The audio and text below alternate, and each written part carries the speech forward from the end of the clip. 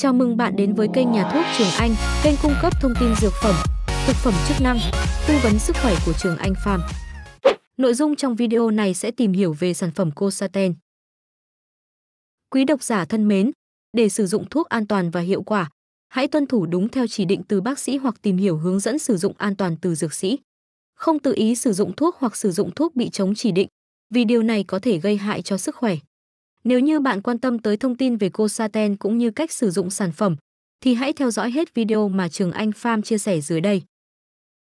Thành phần Perindoproterbutylamic Tá dược, vừa đủ một viên. Dạng bào chế Viên nén. Công dụng Tăng huyết áp. Suy tim sung huyết. Cách dùng Liều lượng trong tăng huyết áp, liều khuyến nghị là 4mg, uống một lần vào buổi sáng. Nếu cần sau một tháng điều trị có thể tăng lên 8mg uống một lần. Liều lượng trong suy tim sung huyết, liều hữu hiệu thường dùng điều trị duy trì là từ 2mg đến 4mg, mỗi ngày uống một lần.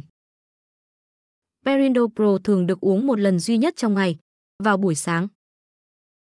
Chống chỉ định Người bệnh đã có mẫn cảm với Perindopro. Người có tiền sử bị phù mạch có liên quan đến việc dùng thuốc ức chế men chuyển. Perindopro chống chỉ định dùng cho trẻ em. Phụ nữ có thai hoặc đang cho con bú. Tham khảo ý kiến bác sĩ trước khi dùng thuốc cho người lái xe và vận hành máy móc. Nhà sản xuất Công ty cổ phần dược Danafa Hy vọng, qua những chia sẻ trong video này của Trường Anh Farm sẽ giúp quý bạn đọc hiểu rõ hơn về sản phẩm Cosaten, đồng thời biết cách sử dụng Cosaten sao cho đúng và hiệu quả. Nếu có thắc mắc khác, hãy liên hệ tới bác sĩ điều trị để được tư vấn kỹ hơn nhé. Hãy là người tiêu dùng thông thái trong việc sử dụng dược phẩm để đảm bảo sức khỏe của chính bạn và người thân. Cảm ơn bạn đã theo dõi video. Nếu như bạn thấy video hay, có ích và để cập nhật thêm nhiều thông tin về các sản phẩm dược phẩm, mỹ phẩm cũng như các loại thuốc hoặc thực phẩm chức năng khác, vui lòng nhấn đăng ký và theo dõi kênh nhà thuốc Trường Anh của Trường Anh Farm.